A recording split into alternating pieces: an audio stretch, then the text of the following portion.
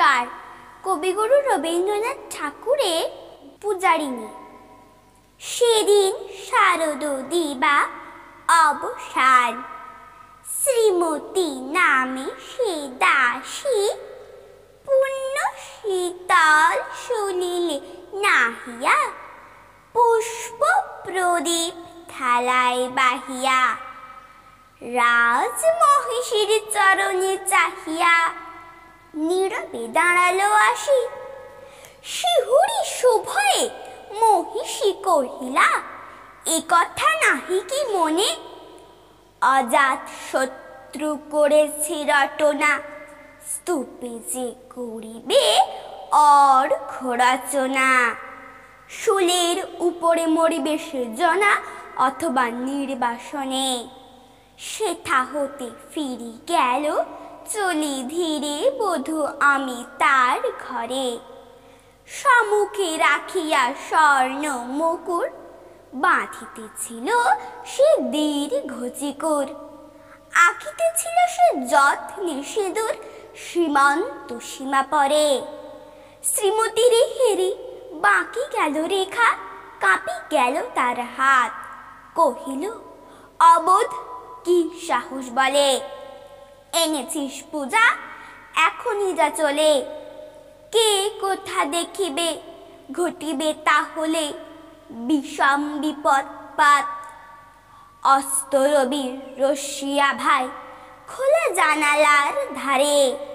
কুমারী শুক্লা বসে একা কিনি, পড়িতে নিরত কাব্য কাহিনী। চমকি উঠিল শুনি কিঙ্কনি, চাহিয়া দেখিল দ্বারে। শ্রীমতীর হেরি পুঁথি রাখি ভূমি দ্রুত পদে গেল কাছে। কহে, সাবধানে তার কানে কানে। রাজার আদেশ আজি কে না জানে। এমন করে কি মরণের পানে ছুটিয়া চলিতে আছে? দ্বার হতে দাঁড়ে ফিরিল শ্রীমতী, লইয়া অর্ঘ থালি হে পুরবাসিনী, সবে ডাকি কয়। হয়েছে প্রভুর পূজার সময়। শুনি ঘরে ঘরে, কেহ পাই ভয়, কেহ দেয় তারে গালি দিবসের শেষ আলোক মিলালো, নগর সৌধ পরে। পথ জনহীন আধারে বিলীন কল কোলাহল হয়ে লক্ষীন আরতি ঘণ্টা ধ্বনিল প্রাচীন রাজ দেবালয় ঘরে। শারদ, নিশির স্বচ্ছ তিমিরে তারা অগণ্য জলে।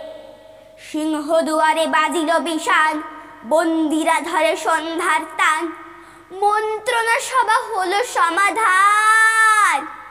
দাড়ি ফুকারিয়া বলে এমন সময়ে হেরিলা চমকে প্রাসাদে প্রহরী যত রাজার বিজন কানন মাঝারে স্তূপ পদমূলে গহন আধারে চলিতেছে কেন যেন? সারে সারে প্রদীপ মালার মতো। মুক্ত কৃপানে পুরো রক্ষক তখনই ছুটিয়া আসে।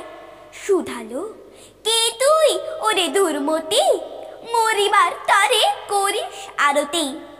মধুর কণ্ঠে শুনিল, শ্রীমতী, আমি বুদ্ধের দাসী।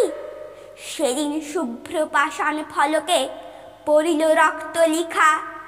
সেদিন শারদ স্বচ্ছ নিশীতে প্রাসাদ কাননে নীরবে নির্ভীতে স্তূপ পদমূলে নিবিল চকিতে শেষ আরতির শিখা।